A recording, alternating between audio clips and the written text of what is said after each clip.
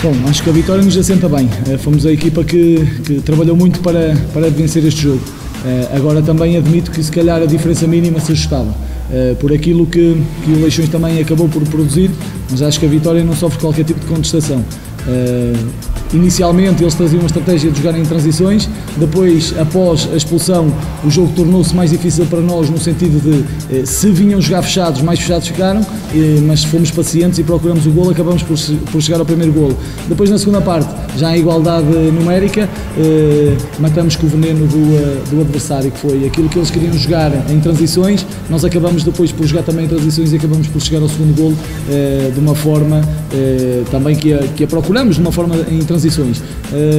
Agora, o Leixões acabou por criar-nos algumas dificuldades e, e, é verdade que merecia, merecia algo mais, mas penso que, a vitória nos assenta bem. Bom, acima de tudo este grupo, como eu já disse desde o início, é que tem muita ambição. E uma equipa que tem muita ambição não pode ficar eh, estagnada e esperar por algo que aconteça. Temos que ser nós a procurar. Eh, e eh, só dignificando, só continuando com esta atitude, é que estes jogadores conseguem dar o salto para outros clubes, melhorar as suas situações em termos profissionais e é isso que eu também lhes apelo um bocadinho, porque é isso que eu também pretendo. Pretendo melhorar a minha situação em termos, em termos pessoais, em termos profissionais, obviamente.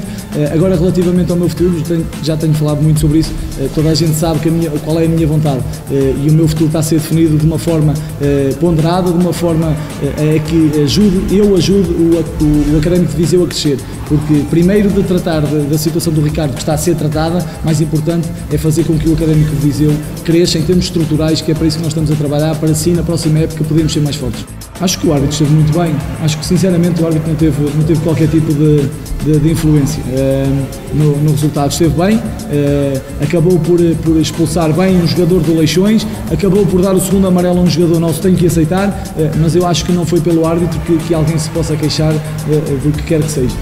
Na altura eu tinha uma, tinha uma, uma estratégia, comuniquei isso também aos meus adjuntos, que era tentar resolver o jogo. Uh, resolver o jogo para, para depois poder fazer essa gestão. Uh, infelizmente, não era a intenção, obviamente, do jogador levar o segundo amarelo, mas essa gestão acabou por vir um bocadinho tarde, porque não fizemos o segundo golo. Eu tinha pensado nisso, mas também não podia estar a desequilibrar o meio campo.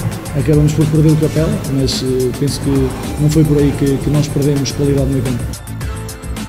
Claro que tem um sabor especial, porque também queríamos mostrar que, que não estávamos acomodados, que por termos atingido o nosso objetivo, que era a manutenção, que, que, que iríamos ser, entre aspas, os bombos da festa, que iríamos andar aqui a, a queimar calendário. Não. Uh, agora, em termos motivacionais, claro que uh, neste momento o objetivo passa por, por tentar obter a melhor classificação possível, sabendo neste momento que também já existe ali uma diferença pontual, uh, mas, mas é isso que podem esperar do Académico de Viseu, é esta motivação de querer ganhar os jogos todos até a final da época para podermos melhorar todas as nossas situações e para dignificar este clube que merece todo, todo o respeito da nossa parte e, e foi simplesmente dar uma resposta a, a essa situação.